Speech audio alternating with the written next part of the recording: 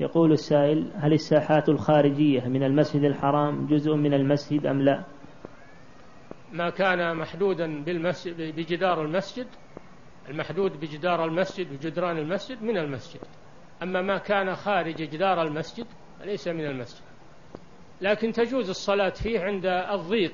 إذا ضاق المسجد ولم يبقى فيه مكان يجوز الصلاة في الساحات لأجل الضرورة. نعم.